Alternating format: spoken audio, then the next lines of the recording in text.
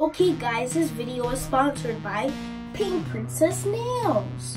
So, if you didn't know, we do spa services, spa parties, packages, and you can even come and get a mani or pedi with you and someone else. Just go to pinkprincessnails.com, shown right here.